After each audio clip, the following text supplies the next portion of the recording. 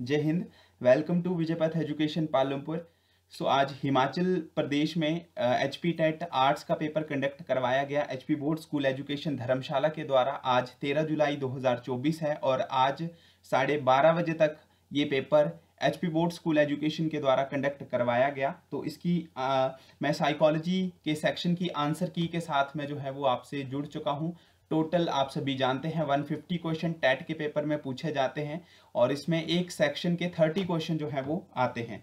तो अब मैं साइकोलॉजी के सेक्शंस को कवर करूँगा। इसकी आंसर की के साथ मैं आपसे जुड़ चुका हूँ। जल्दी से एक बार शेयर आप इस वीडियो को ज़रूर कर दीजिएगा और कमेंट करके ज़रूर बताइएगा कि कितने क्वेश्चन आपके बिल्कुल सही रहे हैं। तो साइकोलॉजी का सेक्शन जो है वो बिल्कुल नॉर्मल लेवल का जो था वो पूछा गया था। ट्वेंटी फाइव प्लस क्वेश्चन जो है वो बिल्कुल आसान लेवल के जो थे वो पूछे गए थे। रिपीटेड क्वेश्चन थे। देखिए, जल्दी से एक बार क्वेश्चंस को डिस्कस कर लेते हैं इसकी आंसर की को। सबसे पहला है, वॉटसन और स्किनर ने मनोविज्ञान के किस उपगम में योगदान दिया है। तो स्किनर और वॉटसन ने जो सबसे ज़्यादा कंट्रीब्यूशन दी है, नाम से ही पता चल जा रहा था। वॉटसन जो था, वो बिहेवियर से जुड़ा था। तो व्यवहार बाद ऑप्शन डी जो था, वो इसका बिल्कुल सही उत्तर था। क्वेश्चन नंबर फ़र्स्ट का ऑप्शन डी था राइट आंसर था। नेक्स्ट था, मनोविज्ञान जो अभिप्रेरणात्मक और संवेगात्मक समस्याओं से पीड़ित व्यक्तियों के लिए कार्य करते हैं, उन्हें क्या कहा जाता है? यानी कि ऐसे साइकोलॉजिस्ट के बारे में आपको पूछा गया था, जो person that suffer from motivational and emotional problem तो ऐसे कौन से साइकोलॉजिस्ट होते हैं जो, जिन लोगों को मोटिवेशन और इमोशंस की प्रॉब्लम होती है तो वो क्या करते हैं? तो उनकी वो काउंसलिंग करते हैं। तो ऑप्शन नंबर ए जो था, वो इस क्वेश्चन का राइट आंसर यहाँ पे रहेगा। नेक्स्ट क्वेश्चन था बिल्कुल सिंपल सा क्वेश्चन पूछा गया था। पेड क्लासेस के जो स्टूडेंट थे, उनको ये क्वेश्चन कराया गया था। V is equal to F into P into A ये इक्वेशन जो है, वो कर्ट लेविन के द्वारा जो थी, वो दी गई थी। उनकी एक थ्योरी है, वहाँ पे ये फ़ेमस इक्वेशन जो थी, वो उनके द्वारा दी गई थी। तो ऑप्शन नंबर ए जो था, वो इसका बिल्कुल राइट आंसर था। नेक्स्ट क्वेश्चन है, हम सीरीज़ ए को यहाँ पे जो है, वो डिस्कस कर रहे हैं। आप अपनी सीरीज़ के अकॉर्डिंग जो है, वो इसको चेक कर सकते हैं। नेक्स्ट क्वेश्चन था if you and your friend measure the length of a table using an identical instrument अगर आप और एक आपका कोई मित्र मेज की लंबाई को मापते हैं और दोनों एक ही कंक्लूजन के ऊपर अगर आप पहुँचते हैं। तो ये किस चीज़ का एग्ज़ाम्पल जो है, वो हो सकता है? क्वेश्चन फोर्थ का ऑप्शन नंबर ए जो था, वो वस्तुनिष्ठा ऑब्जेक्टिविटी इसका राइट आंसर था। जब भी हम हम सभी का जो जैसे हम साइंस का कोई एक्सपेरिमेंट करते हैं, हम एक ही कंक्लूजन के ऊपर जब पहुँचते हैं, उसको ऑब्जेक्टिविटी कहा जाता है। ऑप्शन ए जो था, वो इसका राइट आंसर था। नेक्स्ट क्वेश्चन था एक प्रयोग में, एक स्वर स्वतंत्र चर क्या होता है? इंडिपेंडेंट वेरिएबल की बात की गई थी एक एक्सपेरिमेंट में तो इंडिपेंडेंट वेरिएबल कौन सा होता है? जो एक वेरिएबल दूसरे को क्या करता है? अफेक्ट करता है, ठीक है? एक वेरिएबल जो है वो दूसरे को अफेक्ट करता है। ऑप्शन नंबर सी जो था वो इस क्वेश्चन का राइट right आंसर था। नेक्स्ट क्वेश्चन है बिल्कुल आसान सा क्वेश्चन पूछा गया था। ब्लूम टेक्सनोमी में भी ये क्वेश्चन काफ़ी बार आता है। कोग्नेटिव अफेक्टिव साइकोमोटर तीन डोमेन होते हैं। कोग्नेटिव हमारे माइंड के साथ जुड़ता है हमारी इंटेलिजेंसी के साथ जुड़ता है। तो ऑप्शन नंबर ए जो था वो इसका राइट आंसर यहाँ पे रहेगा। काफ़ी बार ये आ, हमने क्लासेस में किया है। नेक्स्ट क्वेश्चन था development is influenced by an interplay of तो किस वजह से विकास जो है वो प्रभावित होता है? विकास की यानी कौन सी ऐसी क्रिया जिससे ये प्रभावित होता है? तो चाहे बायोलॉजिकल हो कॉग्नेटिव हो सोशो इमोशनल हो, इन तीनों चीज़ों से जो है वो क्या होता है, ये प्रभावित होता है। तो ऑप्शन नंबर डी यहाँ पे जितने भी यहाँ पे दिए गए हैं ऑल ऑफ़ दीज ये तो ये सभी जो है वो इसके राइट आंसर यहाँ पे रहेंगे। नेक्स्ट है, ये आपका जीन प्याजे की थ्योरी से पूछा गया है। मोस्ट इंपॉर्टेंट टॉपिक रहता है। सेंसुरी मोटर की एज कितनी होती है? ज़ीरो से लेके दो साल। ऑप्शन नंबर ए इसका राइट आंसर है। बिल्कुल आसान सा क्वेश्चन पूछा गया था।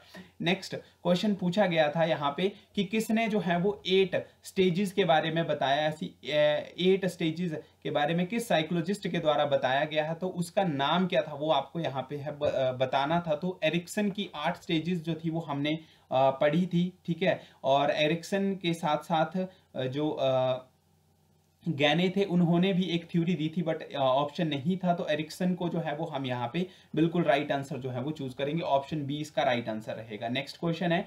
क्वेश्चन टेंथ था। The process of incorporating new experience into exist schemas is known as ये जीन प्याजे की थ्योरी से पूछा गया है कि जब नए अनुभवों को पहले से विद्यमान स्कीमा में जब हम उसको इंटरप्रेट करते हैं, उसको कनेक्ट करते हैं, उस प्रक्रिया को क्या कहा जाता है? तो एसिमिलेशन कहा जाता है। पुरानी प्रक्रिया से नई प्रक्रिया को जब जोड़ा जाता है एसिमिलेशन कहते हैं ऑप्शन बी जीन पे आज से क्वेश्चन पूछा गया था option B is the right answer बिल्कुल, हवा लेवल का क्वेश्चन है आईक्यू का फॉर्मूला क्या है? ये क्वेश्चन आपको आना चाहिए। ये इंग्लिश में ही यहाँ पे दिया गया था एम ए और सी एम का मतलब होता है mental age and C A का मतलब होता है।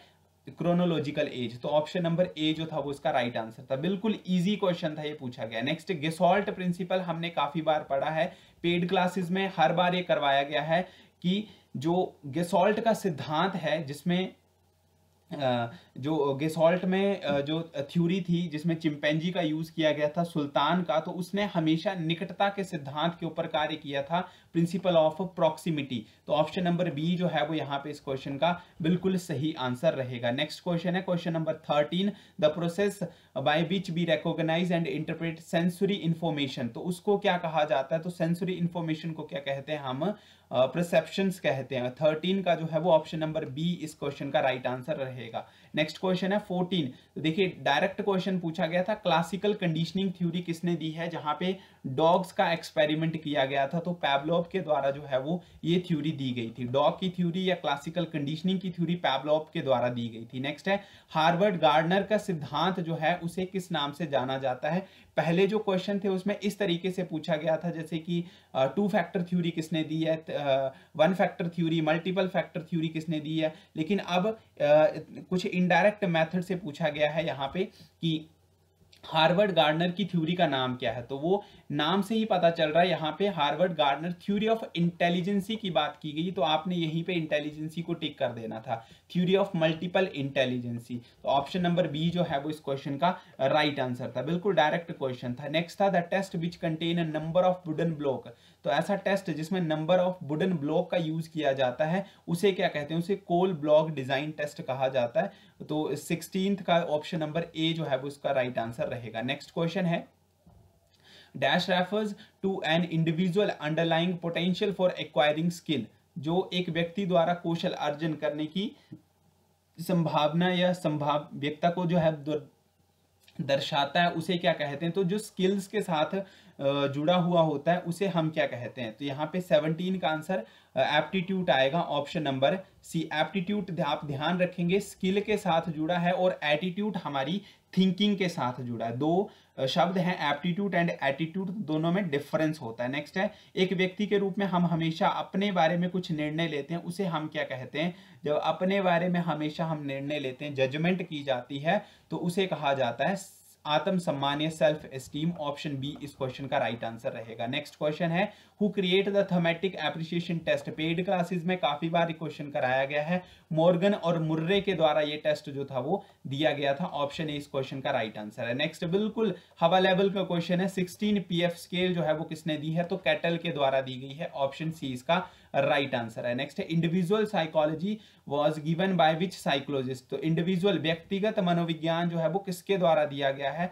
ये अल्फ्रेड एल्डर के द्वारा दिया गया है। ऑप्शन नंबर डी जो है उसका राइट आंसर था। नेक्स्ट क्वेश्चन है according to id ego and super ego ये कॉन्सेप्ट किसका है? ये सिगमंड फ्राइड का है। ये सिगमंड फ्राइड का है। काफ़ी बार पेपर में पूछा जाता है। डिफरेंस भी कई बार आ जाता है इसका। बिल्कुल सिंपल सा क्वेश्चन है। नेक्स्ट क्वेश्चन था which theory was develop by Carl Jung Carl Jung के द्वारा Uh, कौन सी थ्योरी जो थी वो दी गई थी। तो इसमें option number B analytical psychology या विश्लेषणात्मक मनोविज्ञान ऑप्शन बी जो था वो इसका राइट आंसर था। ये थ्योरी कार्ल जंग के द्वारा दी गई थी। नेक्स्ट था इसमें स्टेटमेंट बेस्ड क्वेश्चन जो थे, वो काफ़ी पूछे गए थे एज कंपेयर टू जो हमारे अभी पिछले पेपर हुए हैं नॉन मेडिकल का है या संस्कृत का है या अदर जो भी एग्ज़ाम एलटी का हुआ अभी, उसमें उतने स्टेटमेंट बेस्ड क्वेश्चन नहीं थे। लेकिन आज के पेपर में लगभग चार पाँच क्वेश्चन स्टेटमेंट बेस्ड पूछे गए थे। Nisha shows aggression most of the time in her classroom often calls her class classmate aggressive यानी कि निशा जो अपनी क्लास में हमेशा गुस्सा करती है अग्रेसिव नेचर रहते हैं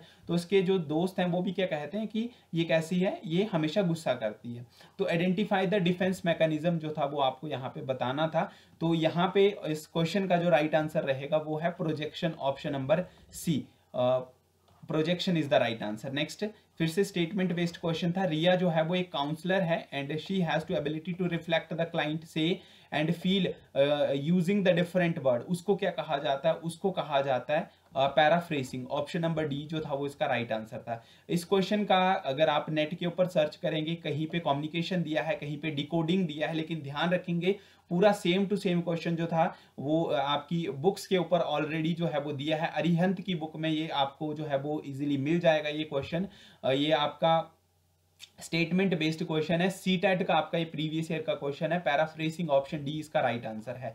नेक्स्ट क्वेश्चन है dash establish relation between undesirable behaviour and painful consequence तो उसे हम क्या कहते हैं?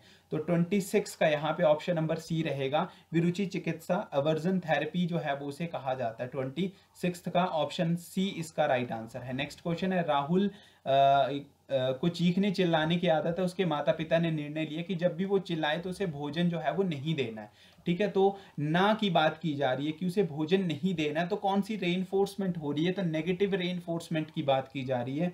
तो ऑप्शन बी जो है वो इसका यहाँ पे राइट आंसर रहेगा। ठीक है? नेक्स्ट क्वेश्चन है which technique use to treat phobia तो देखिए फोबिया फोबिया का मतलब होता है किसी चीज़ का डर। ठीक है? तो डर जब किसी चीज़ का हो तो उसको हम किससे ठीक कर सकते हैं। अगर किसी चीज़ का डर अगर हमारे मन के अंदर बैठ जाता है तो हमारी माइंड को ही चेंज किया जाता है। तो यहाँ पे नन ऑफ़ दीज बेसिकली आना था। हमारे कॉग्नेटिव बिहेवियर जो थेरेपी है, उससे, उस टेक्निक से फोबिया को जो है वो ठीक किया जाता है। नन ऑफ़ दीज इसका राइट आंसर है। नेक्स्ट है the logical process by which general principle are infected from particular intense is called उसे क्या कहा जाता है? उसे जो है वो हम डिटेक्टिव रीजनिंग कहते हैं option A is the right answer ठीक है जी? नेक्स्ट क्वेश्चन है यहाँ पे।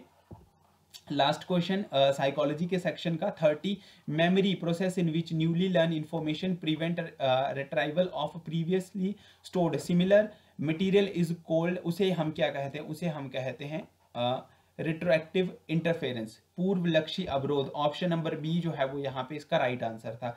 तो जो भी आ, हमने यहाँ पे क्लासेस विजयपथ एजुकेशन के द्वारा प्रोवाइड करवाई गई थी हमारे पेड स्टूडेंट के लिए एंड जो भी यूट्यूब के ऊपर क्लासेस थी उसमें से लगभग 25 प्लस क्वेश्चन जो है वो हमारे डिट्टो हमारे ही वहाँ पे पढ़ाई में से जो है वो आपके लिए जो है वो इस एग्ज़ाम में पूछे गए हैं। आई होप आपका पेपर जो है वो काफ़ी अच्छा गया हो।